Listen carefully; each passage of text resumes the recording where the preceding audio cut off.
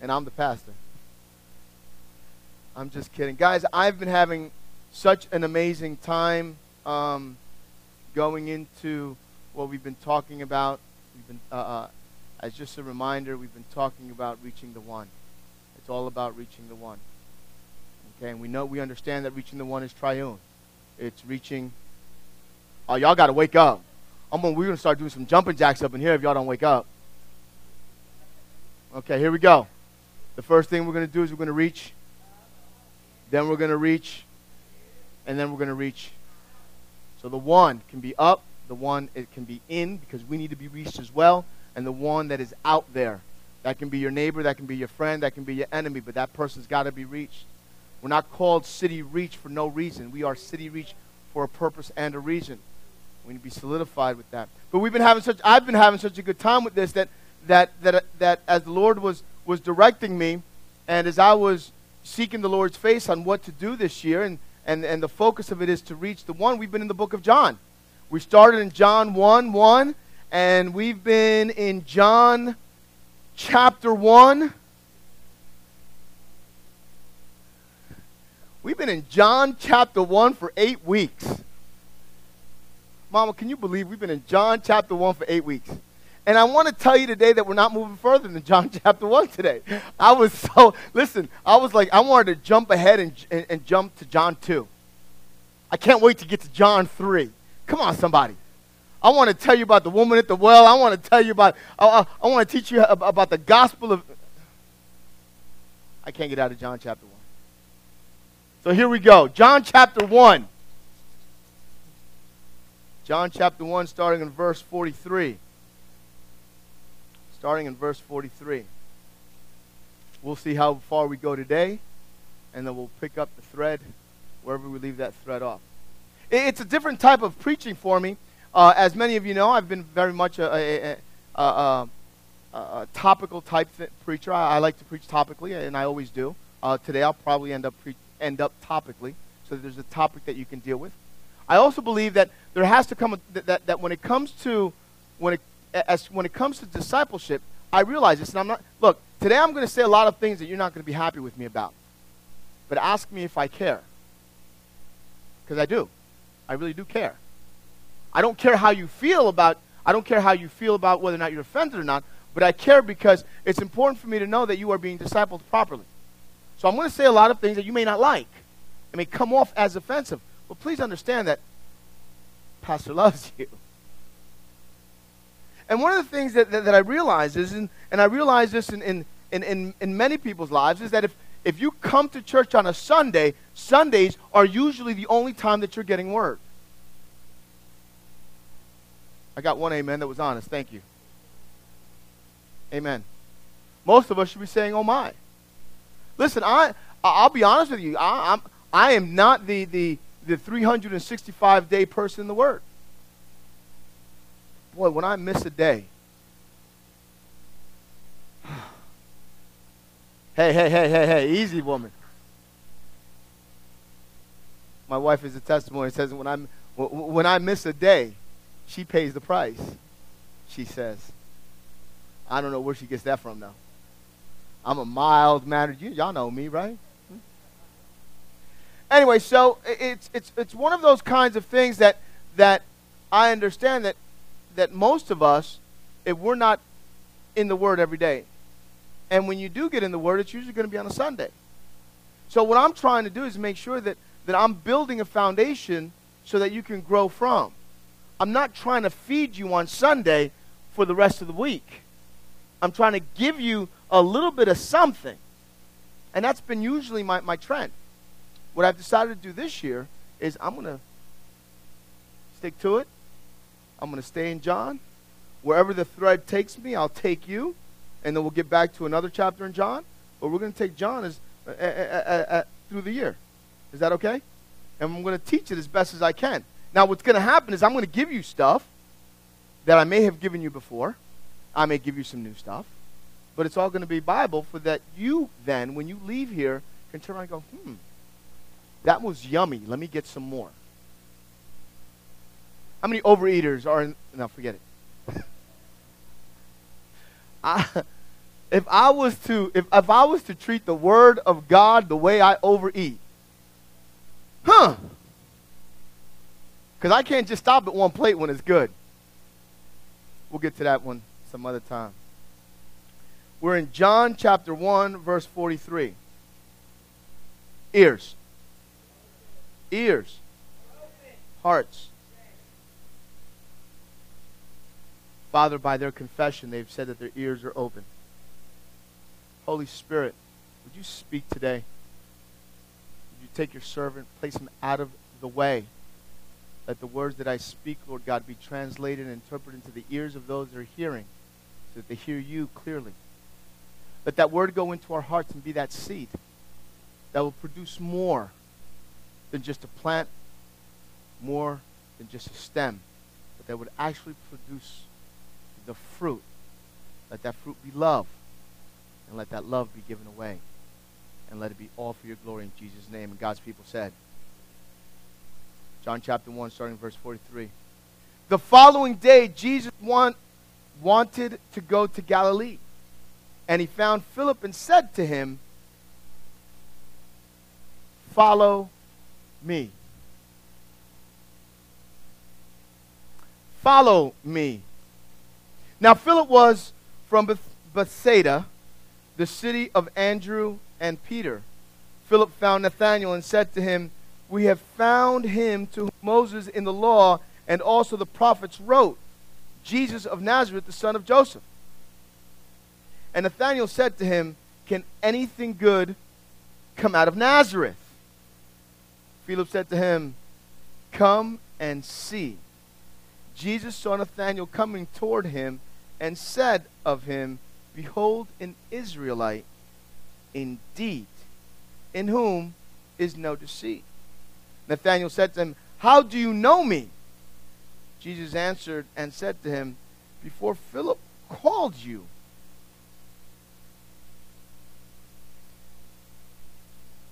excuse me. That's what happens when I use a new Bible. When you were under the fig tree, I saw you. Nathanael answered and said to him, Rabbi, you are the Son of God. You are the King of Israel. Jesus answered and said to him, Because I said to you, I saw you under the fig tree. Do you believe? You will see greater things than these. And he said to him, Most assuredly I say to you, hereafter you shall see heaven open and the angels of God ascending and descending upon the Son of Man this last this last few verses in this John chapter 1 lead us into a lot of discussion. I am I am I'm excited to preach about nothing good comes out of Reading. but you're going to have to wait for that one. That may be May's sermon. I'm excited to preach about I'm excited to preach about about the prophetics and being able to see before you even get there. Jesus was able to see him there. I'm excited to preach about being able to ask somebody and invite someone to come and see for themselves. I'm excited to, to preach about the things that you're going to see in the future. You sitting here today the signs, the wonders, the miracles, the manifestations of God, pre- God's presence in your life and the lives of those that you want to be a part of. I'm excited about that. But I find myself stuck. I find myself in this place of that I just can't go any further. I just can't go any further right now than to deal with the command follow me. I can't go any further. I find myself stuck there because we feel like in this 21st century of, of, of social media and Instagram and Twitter and uh, follow me. Are you following me on Facebook? Are you following me on Twitter? Do you follow me on Instagram? I don't even know how to do Snapchat yet. My son won't teach me.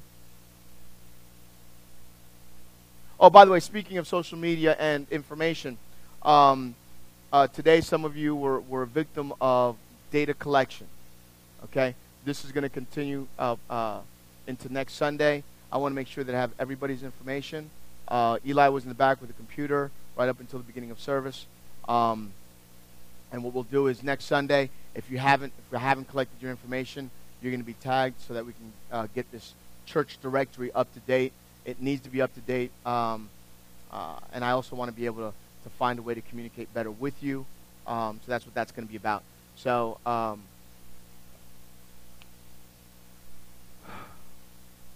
so make sure you see Eli next sun- next Sunday. We're going to be here. We're going to be here, right? So far, we're going to be here.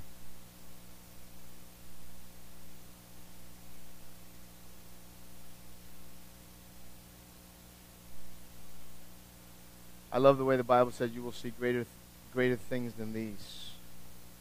The promise of signs, wonder, miracles, and prosperity. I could just jump there. You know, I could just jump there because normally that's the, that, that's the, the shouting part of church. That's the excitement part of church. And like I said, some of you have already been, some of you have already heard portions of this teaching. Some of you haven't. So we're just going to go through it because I feel like if I'm going to hit something in the book of John, and it's going to come through again as an opportunity to reteach it, I'm going to take the opportunity to reteach it. Amen? So, this idea of follow me, this idea of follow me, if I say follow me, most of you are just going to walk with me. Most of you are going to go in the direction that I'm going in. But this follow me is deeper than just a simple come along for the ride. Come along for the ride. To be able to understand this, we have to go back into the educational system of a Jew we have to understand that the Jewish culture thrived. It thrived on this idea of Torah, this idea of the Word of God, this idea of understanding this Word. And it doesn't just begin at the time that you're an adult. It doesn't begin like it did for many of us. I know that for me, many of you know my testimony. As, as, as for me, I was in my 20s before I came to know the Lord. I didn't grow up in church. I didn't grow up in Sunday school. I didn't know, uh, uh as far as knowing about Noah and knowing about uh, uh, Moses. I knew about Moses because I watched the Ten Commandments on television. Do you know how heartbroken I was when I finally read it in the Bible and it didn't match the TV show? I was hurt. Some of you still believe the TV show because you haven't read it in Exodus. But that's a whole different story. That's why we're doing this. Told you I was going to say some stuff. Uh, their entire lives revolve around Torah, around these five books written by Moses. Josephus was, uh, says, above all, we pride ourselves in educating our children. That's why it's so important that we today here, right now, this church, that we should pride ourselves on educating our children. We should pride ourselves on teaching our children what they need to be taught at home if you teach them at home, they're going to excel in school. If you read to them at night, until the age that they won't, don't want you to read to them at night anymore. I think it was a couple years ago, my wife tried to sneak up into Eli's room and read him a story, and he was like, Mom, leave me alone. Or was that yesterday? I don't know. Sorry, Eli, you're the victim today.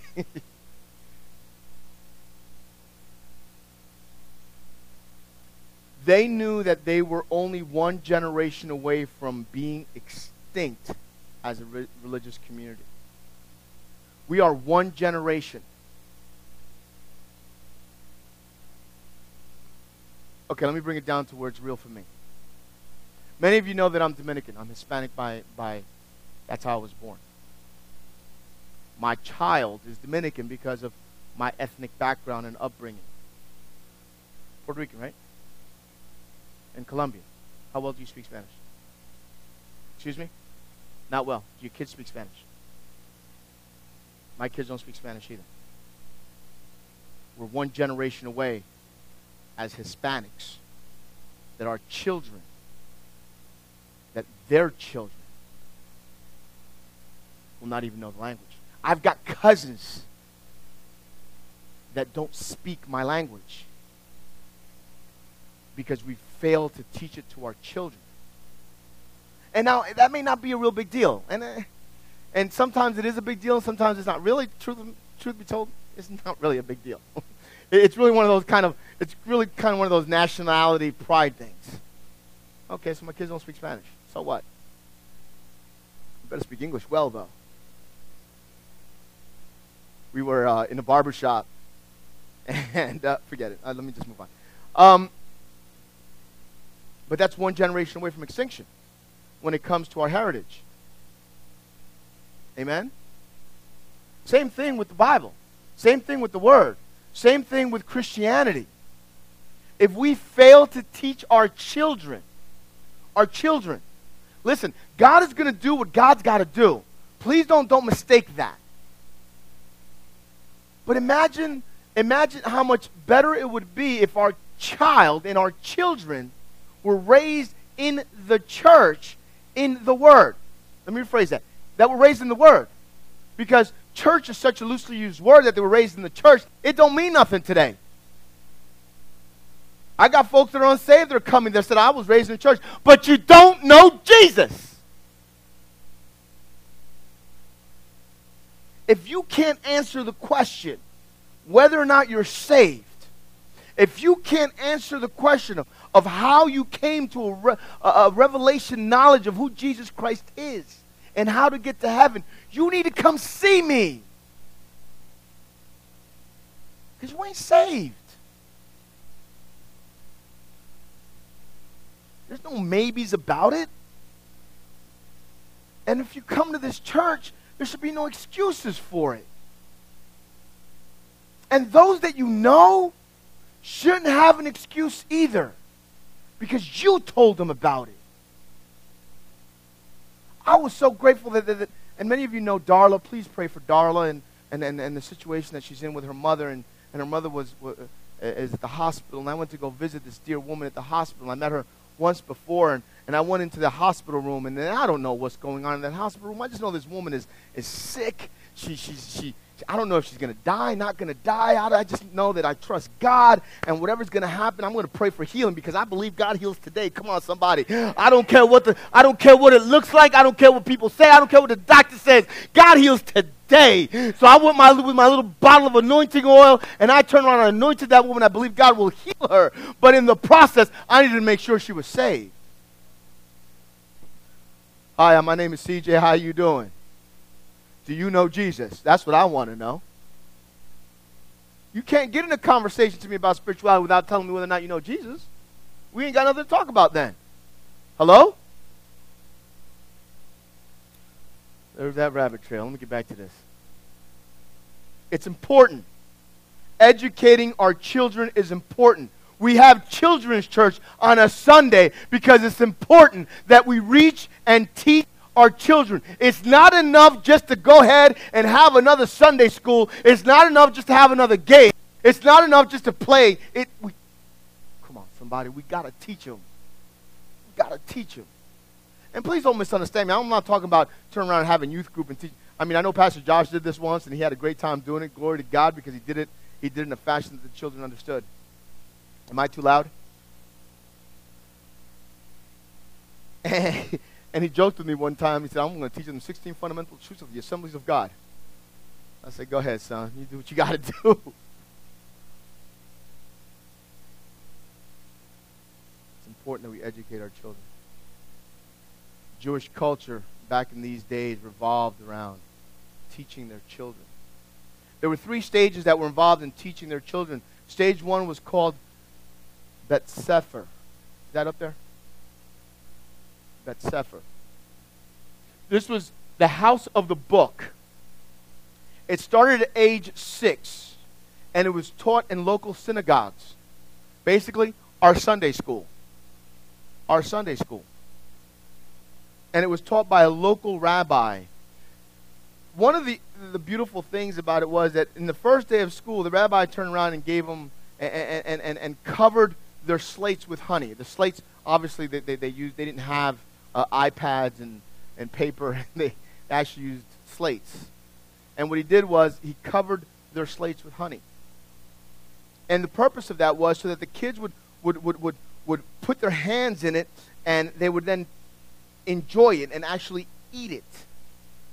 And it was supposed to be a, a symbol to them that this honey represented the Word of God, it represented Torah.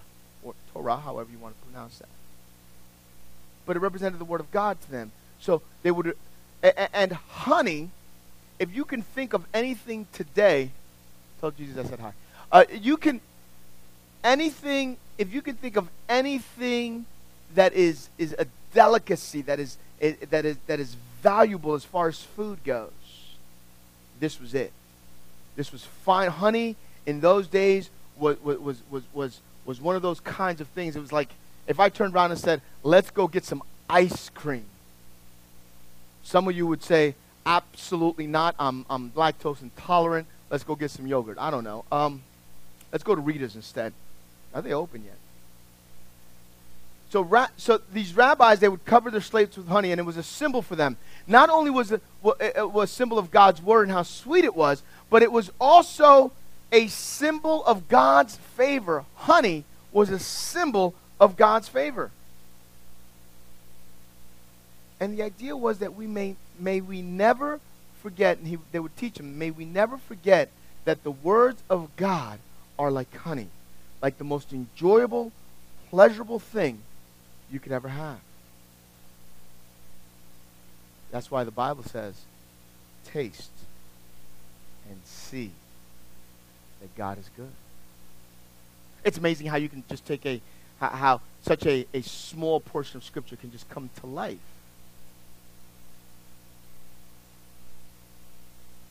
How good is it to you? For us to call ourselves followers, for us to call ourselves followers of Jesus, we have to ask ourselves some difficult questions.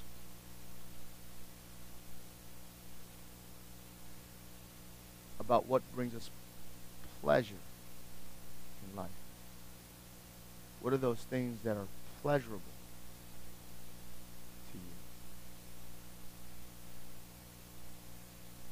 And then the question has to be are those pleasures found in the Word of God? I can't give you zeal. I can't give you passion. The Holy Spirit, you and the Holy Spirit have to have a desire, a hunger, a thirst. And if you lose it, you have to figure out what it is that you need to do to get back to it. Or trust me, God will find a way to draw you back to himself. I'd rather find it myself than be dragged to it. If you've never been dragged to it, you'll uh, uh, you know you have no idea what I'm talking about. But as for a six-year-old, he would begin memorizing in this in this Bet Sefer. He would begin memorizing the Torah, word for word. Uh, some some some of the um, uh, the men that have been through our, our discipleship program as far as uh, our our hope home would get so upset over over a verse or two. Come on, Richard, talk to me. Over a verse or two that they had to memorize, right in the home. They had to memorize a verse, and they would what's that? Forty. By the time they got done. Okay. Forty. It started with one, right? And they fought with the one. And then when they got to 40, they were like, oh crap, I could do this. A six year old, the first five books of the Bible, word for word. What?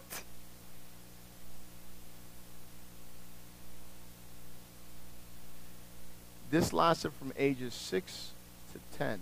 By age 10, they were moving forward. The second stage was Bet Talmud, or the house of teacher. This is an advanced, only the advanced students, those that did memorize them, those would move on, would memorize then the rest of the scriptures. Please understand that the, the, the principle here is that the most, the most prestigious position that a young Hebrew male could hold was to be a rabbi. That was it. That was it wasn't about being a fisherman or a craftsman or a carpenter or this, that, or the other. It was about being a rabbi. There are very few. I mean, right now we could talk about, hey, well, you know, uh, what do you want to be when you grow up? I want to be a doctor. I want to be a lawyer. I want to be a police officer. I want to be all those other kinds of things. But nobody's screaming out at the young age, I want to be a pastor. I thought it was funny. I mean, I ask my son every, every few months, what do you want to be? Not once did he say pastor.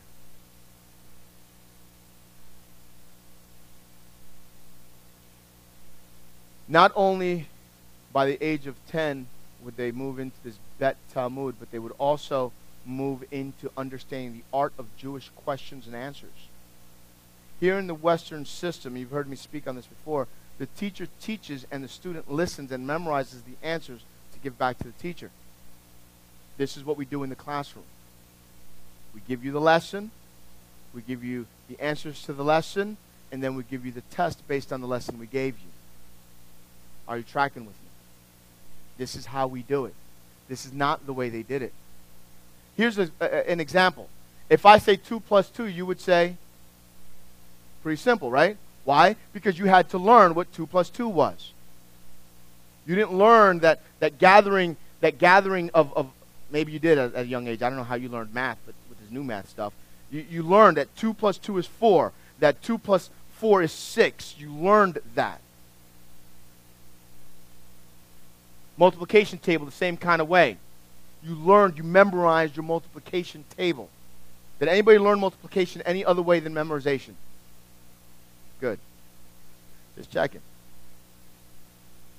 Jewish culture, then, what they did was they had you in a process to think and understand the issue and take the discussion further. It wasn't good enough that you knew what the, you, that you memorized the material. You had to understand the material. So, if we were in, in this environment learning this, this, this question and answer type of, type of thing, I would say to you, what is 2 plus 2? You would answer with, what is the square root of 16? Boom. Psst. Okay. What is what is then 16 divided by 4? Would be another appropriate answer because you didn't just give the answer, you understood what the answer was, and you took it in a different direction. Jesus always asks questions and responds with questions. Not always, but in most cases, you would see him ask a question and respond with a question.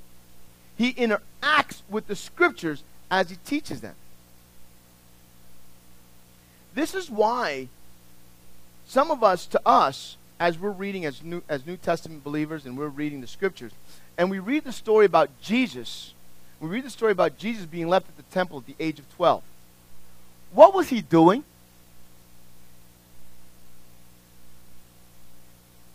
He was teaching. Because he was in the house of teacher. That was his age. That's what he was supposed to do.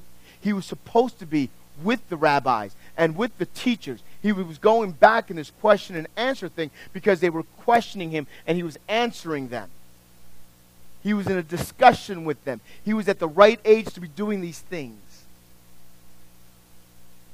And that's why his response to his parents was, What do you think I would be? I was in the house of my father. I was in my father's house. I'm doing exactly what I'm supposed to be doing. brings it a little bit more to life. Stage three is called the Bet Midrash, or the house of learning. This is for 14 and above. They would go into here to become rabbis. This is the Harvard and the Yale. This is, this is the elite of the elite. This isn't just this isn't just graduating high school. They would have graduated high school at age 10 if you if you if you're catching what's going on here. They wouldn't just be going to community college. They would be going not just to a District 1 school, they would be going to an Ivy League with a scholarship. Are you catching me? Does any of this make sense as I'm speaking these? So here they are. They're, they, they, they, they have this, the, the, their dream job is coming true for these Jewish boys. But to be able to do so, they had to be chosen. They had to be chosen. And you had to be chosen by a Rabbi. They would go into, they would go and ask a rabbi, or they would find a rabbi. They would say, I want to be one of your disciples. I want to be a, a, a, a I, I want to be a disciple of yours. What, what do I got to do? They would come asking. This is, gonna, this is important for later. Rabbis would then question to see how well they knew the text, to see how good they were, to see if they were if they could if they could live up to it. The answer then to the text would be in a what's called a remiz or remez. And here's an example. An example is found in, in, in Luke chapter 10, verse 25. If you want, let's go ahead and jump to, to Luke. Luke, Luke, Luke, Luke, Luke. Luke. I got some time. Look at that.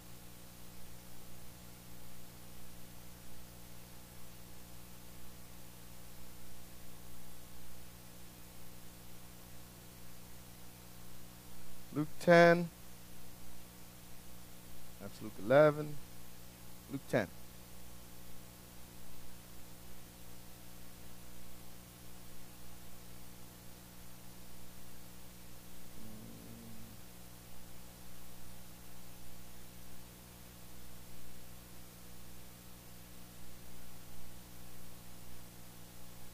Nope, wrong one, sorry.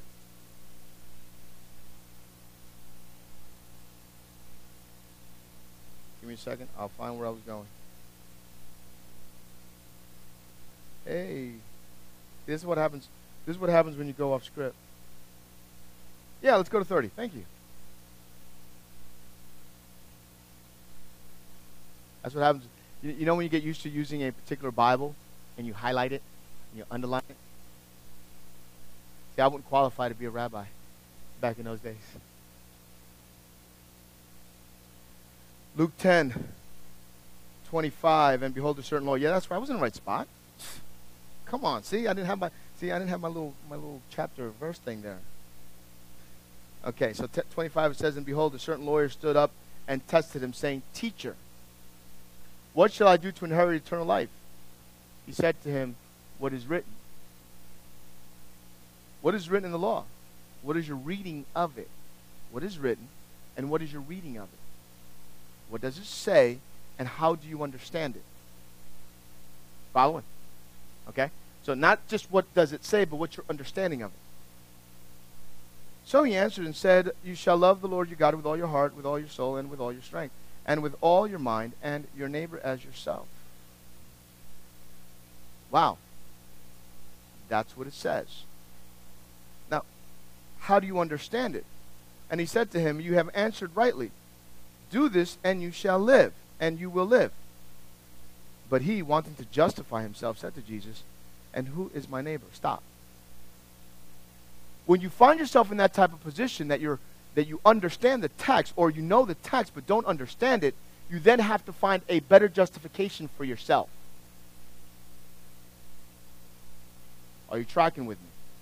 It's not good enough if I turn around and say, I am a follower of Jesus Christ and I forgive, except for, that means you don't understand the text. You know the text because you know that you should forgive as you were forgiven. But you fail to walk in the text because you don't understand the value of the text. I don't say you, I say we. I don't say we, I say me. Are you tracking with me? When I fail to forgive, when I fail to do those things, it's not because I don't know the text. I know the text. I've preached the text. I've studied the text. What I do is I fail to walk in the text because my understanding of the text doesn't go deep enough to be able to make it part of my walk. That's basic stuff, amen? Can I get an amen on basic? So now Jesus says you've answered rightfully so, but now he begins to justify himself like, yo, who's my neighbor? I don't want to have to forgive everybody.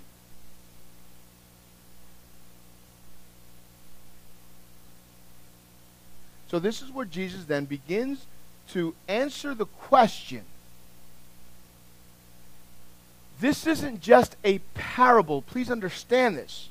This is a form of answering the question so that you can so that you can come to the conclusion for yourself. You hear what I'm saying? The Holy Spirit wants you to come to some conclusions about truth for yourself. He's already revealed truth to you, but now you have to experience truth. That was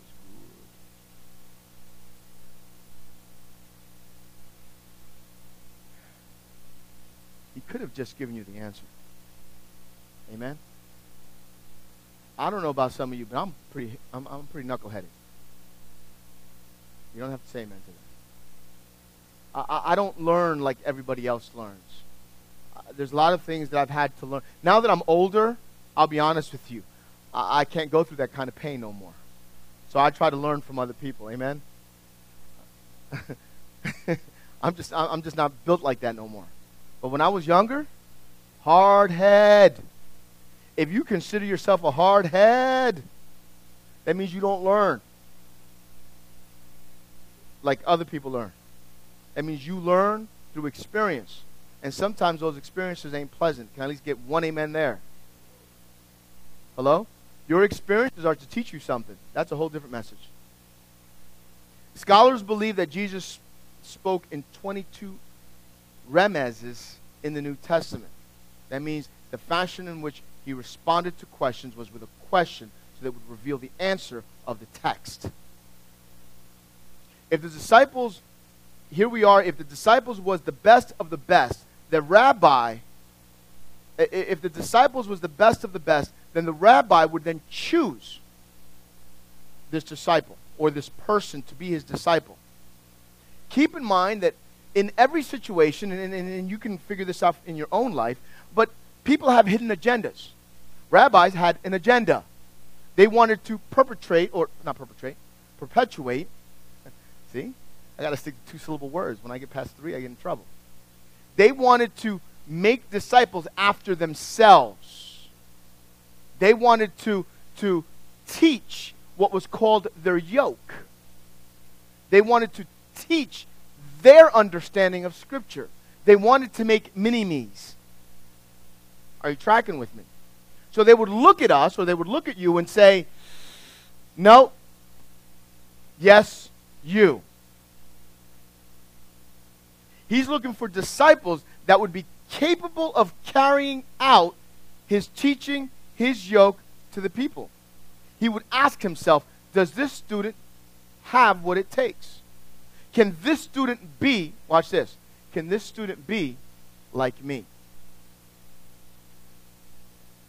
Can this student be like me?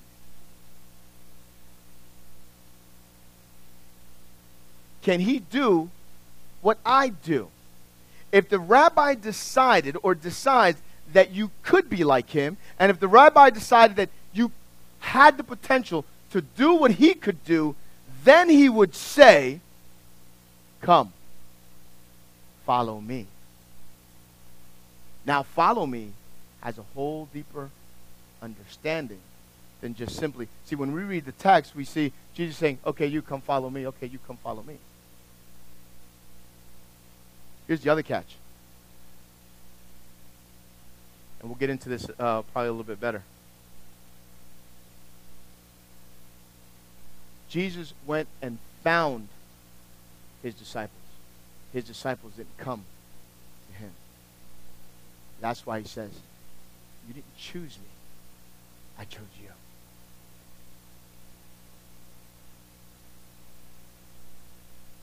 But see, at this point, you would leave everything. You would leave everything. You would leave everything and follow your rabbi. You would then devote your life to being like your rabbi. You would do everything that he would do. You would want to do everything everything that the rabbi did, you wanted to copy. Like little kids. You know little kids that walk around, stop copying me. No? Age range over here is stop copying me. Stop copying me. No, that's exactly what you would do. Listen, back when I was growing up, um, Bruce, what was this called? What do we call that?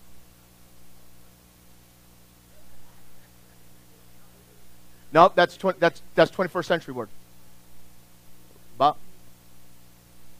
if my rabbi walked like this, I'm walking like this. 21st century, swag. Whatever it was that my rabbi had, not only did he say that I could have it, he said I could be like it. That means I should do it. There wasn't a question of if he did it, I could do it too. Why? Because he taught it to me.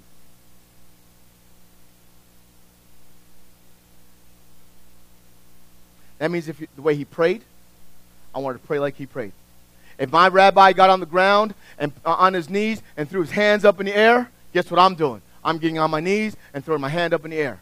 If my rabbi went down and laid on, on the floor, then guess what I'm doing? I'm laying down and I'm getting on the floor. If my rabbi fasted, I fasted. If he ate, I ate. Not only did I eat, but I ate what he ate. If he drank, I drank. Hello? I did what my rabbi does. Why? Because I want to be like my rabbi. And the only way, the best way for me to learn how to be like my rabbi is not just to be with my rabbi, but to do what my rabbi does so I can experience it. In other words, I have to experience my rabbi. What? We can't keep going and walking around talking about, I want to be like Jesus if you ain't trying to walk like. I think it's time for a water break.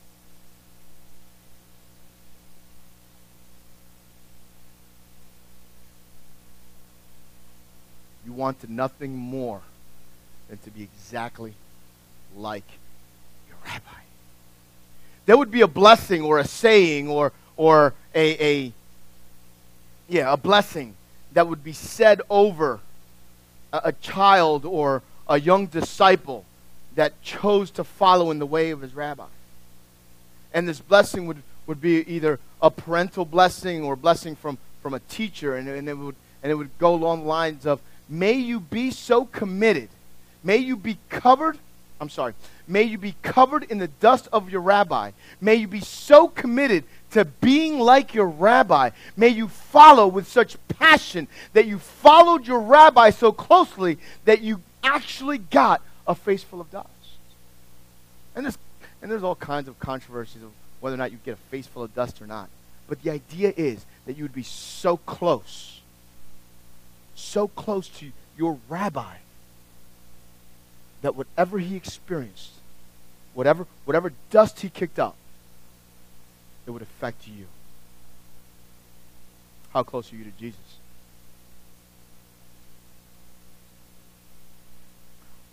Now, here's the sad part. Because in this process of trying to become, to, to, to be a, a, a disciple of a rabbi, you, a lot of these young men and young men would reach a point of disappointment. Because either the rabbi said, Come follow me, or he will respond by saying, You know Torah. but you don't have what it takes to be like me. You should go learn your father's trade.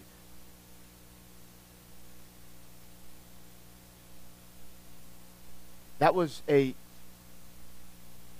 for a young man, that was one of those, oh, I can't be a rabbi, so I'm going to go be a doctor.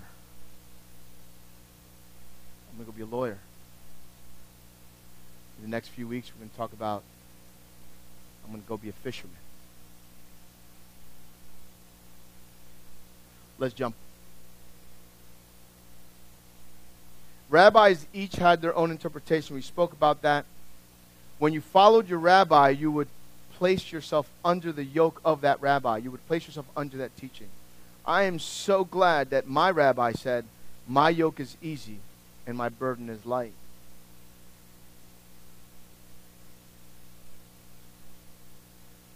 We'll talk a little bit more about this next week in Matthew 4. We're going to take this follow me and see how, how it affected uh, uh, Peter um, uh, and Andrew, his brother, and we're going to talk about casting the net and those kinds of things. But now you understand why they were fishermen. Because they were rejects. Go learn your father's trade. But yet Jesus responded to them in that same scripture. He says, But I will make you fishers of men. That's the launch for next week.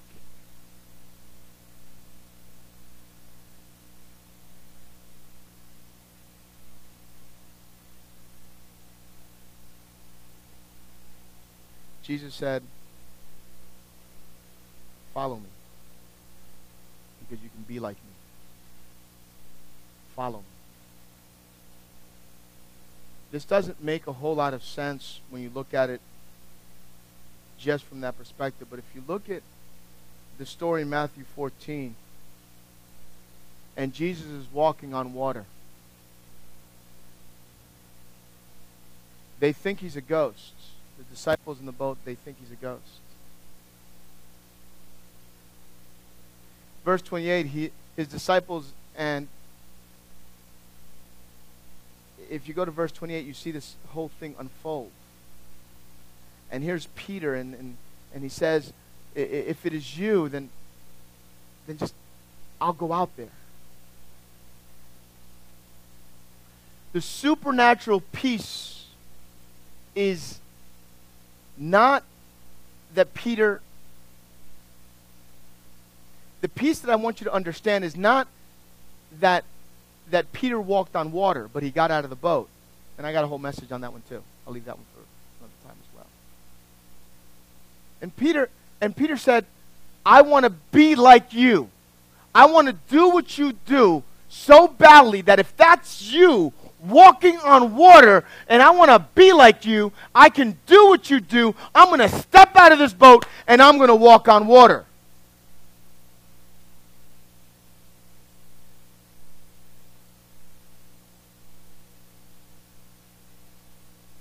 When was the last time you actually tried, or we actually tried, to move in the supernatural?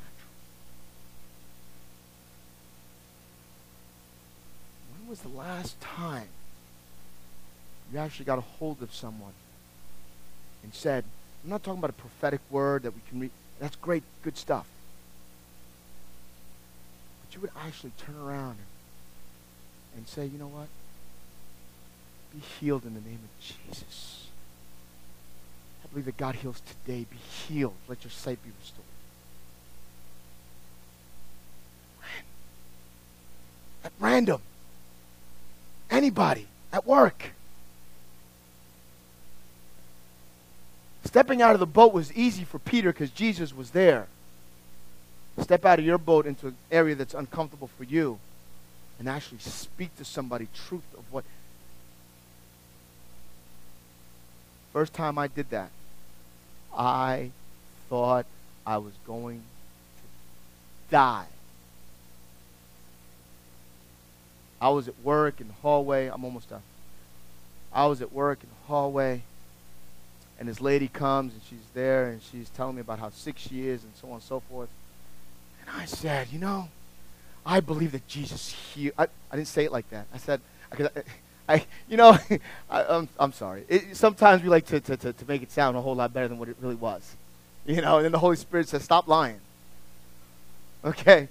At least he does to me. I don't know about you. You know, you want to exaggerate it a little bit to make it look more. It, it wasn't like that. It really wasn't.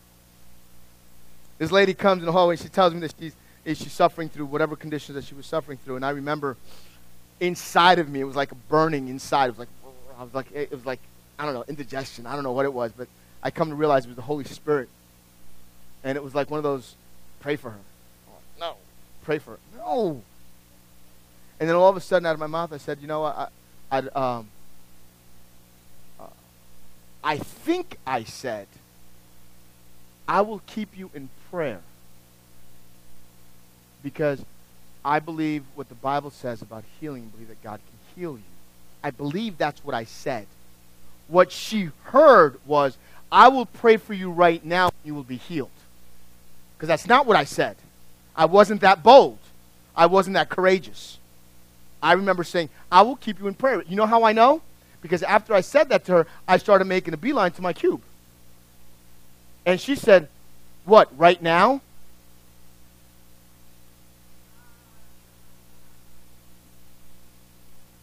Yes. Here I am at work. Lord, touch this woman, heal her in the name of Jesus. And then all of a sudden, I let, I, I don't know, I, you just go into things that you know. I, you, when you don't know, you just start praying in tongues. So I started praying in tongues, and I started believing God, and I started just, and I had my eyes closed because I, I, I don't know if I had my eyes closed because I was trying to be spiritual. I had my eyes closed. I didn't want, I didn't want to see anybody see me. You know, you put like a stork, you put your head, head in the sand, right? And I prayed, and I believed. I'd like to be able to tell you the testimony. Oh yeah, she got healed and all this other wonderful, magnificent thing. But it wasn't about her that day. I'm sure she got healed. It was about me because I needed to move into that next level. Take a chance. See what that does to your faith. Stop worrying about what the effect is going to be and what the manifestation is going to be. Just take a chance on you. You know why? Because you're a follower of Jesus. You can do what he does. Ooh, that was good. Take a chance. Jesus said to Peter, He says, You have little faith. Who does Peter lose faith in? Jesus? Is, is Jesus having trouble walking on water? I don't think so. Peter loses faith that he can actually do it. He loses faith in his ability to be like his rabbi. But didn't his rabbi already say to him, Follow me, because I believe in you, and you can be like me, and you can do what I do?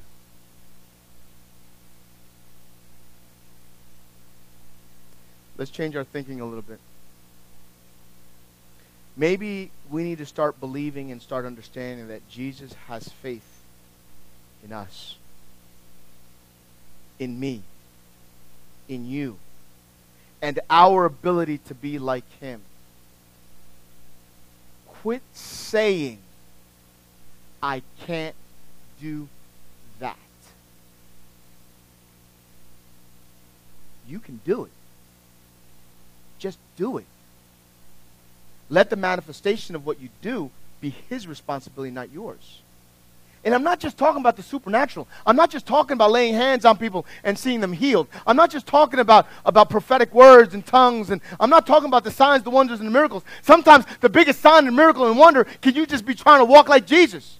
Sometimes it can be just as simple as the internal thing of forgiving somebody. Of, oh. That's the real miracle right there. That's the real struggle right there. Because let me tell you, if you can get past that, the laying of hands is easy. That's the easy stuff. Hello? The internal stuff is the hard stuff.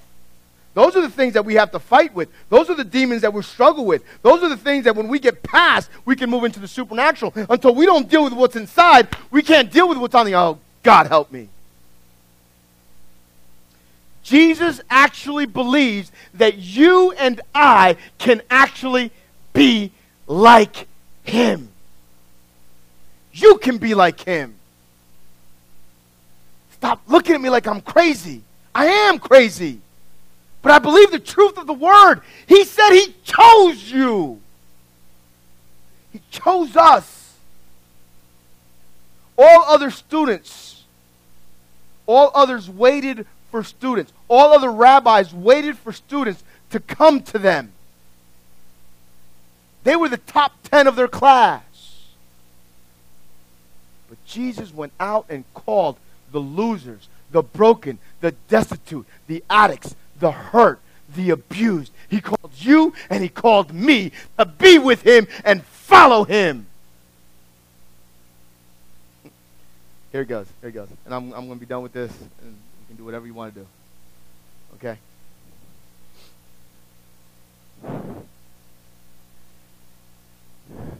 How many of you have faith in Jesus? Do you have faith in Jesus? Maybe just a little faith, maybe just mustard seed faith, maybe just just enough to call it saving faith. Amen. I believe Jesus, I'm going to heaven, that's all I know, that's all I need to know. I haven't gotten past that point, and right now I'm okay with that. We always look at faith going upwards. Amen. Have you looked at faith going sideways? Did you have faith in me? You have faith in me? You have a certain amount of faith, amen? I have a certain amount of faith in you. I have a certain amount of faith that you can do the right thing because it's the right thing to do. At least I hope so. There's, there's that hope piece of faith, but we'll get into that some other day. But how amazing it is for you to change your understanding of faith and to know that He has faith in you. Not just that you have faith in Him, but He has faith in you that you can be like him. He would never ask you or try to accomplish in you something that he didn't already know and was assured that you could do. Amen. That's a shout moment right there. Uh,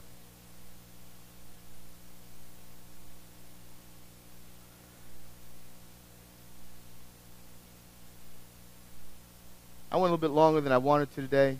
That's not unusual. So I'm going to open up the altars. If you need prayer, our pastors will come wherever they're at. I know they're out here somewhere. Prayer partners will come. Um,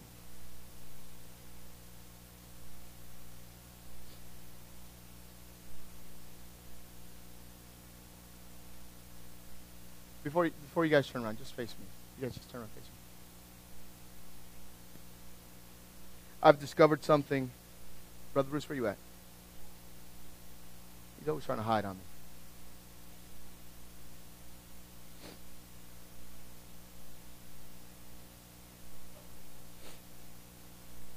I've discovered something, not discovered, I actually knew this. It's just a matter of, of dealing with it. I need for each one of you, each one of you that are going to be laying hands on people, and each one of you that are going to be praying for somebody as they come, if they come, when they come, even if they don't come. The rest of you, you can go into your, you can go ahead and bust out your iPhones and tweet and Facebook, whatever you want. Just want to talk to you guys just for a second. Before you guys receive anyone to pray for, one, uh, give me a second. Take a seat. They'll be ready in a minute. Before you guys do that, Adela, get your behind up here too. What are you doing sitting there?